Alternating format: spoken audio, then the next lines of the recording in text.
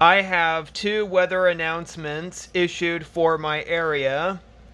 First of all, I have a wind advisory in effect until 1 a.m. tomorrow morning. South winds 20 to 30 miles per hour, with gusts up to 45 miles per hour expected.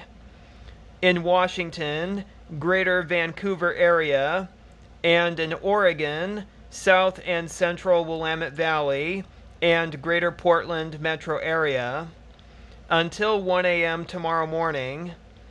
Gusty winds could blow around unsecured objects. Tree limbs could be blown down, and a few power outages may result. In addition, gustier conditions possible along higher terrain, especially along the central and southern Willamette Valley Area bridges and overpasses may experience stronger winds.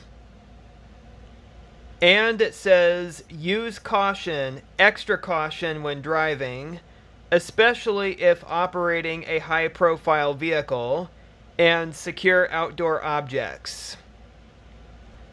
Second, I have a flood watch in effect through Monday afternoon. Flooding caused by rain and snowmelt continues to be possible.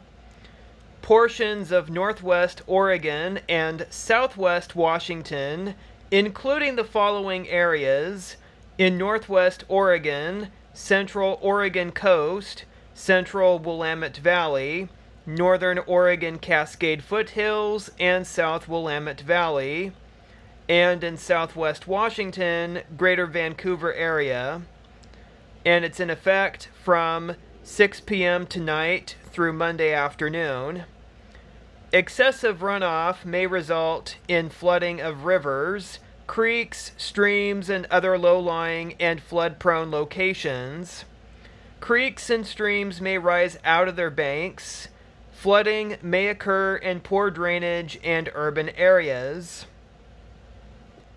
Additional details to that Heavy rain with a front tonight, with rain at times Monday.